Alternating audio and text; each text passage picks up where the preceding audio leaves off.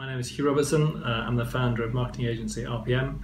Uh, and how we got here is I started this business 23 years ago uh, after being kicked out of school uh, with no qualifications uh, and started with £5,000 borrowed from my bank.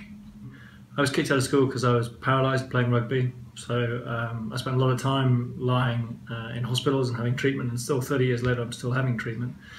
Uh, and I would say that uh, two things really. One is that life is a huge and long journey. So you know, school is important, but it's not uh, so much the qualifications, but what you come out of it feeling about yourself, and have the confidence in your abilities to do as many things as you possibly can. Uh, two things. One is be true to yourself. Uh, obviously, adapt and adjust, but don't go changing to accommodate uh, difficult people or environments.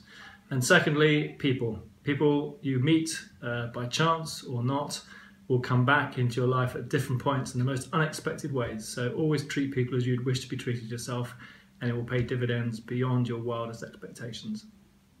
Uh, I would do some preparation. So do good research in terms of what they do, and also most importantly, think about what you're going to get out of it and what you'd like to get out of it.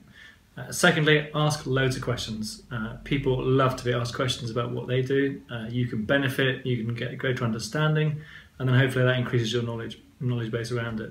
And thirdly, nothing is ever too stupid. Uh, we're all learning. I'm nearly 50 and I'm still learning. So everyone is going through exactly the same process. And actually, by asking questions, you will then get to benefit from their experience and expertise.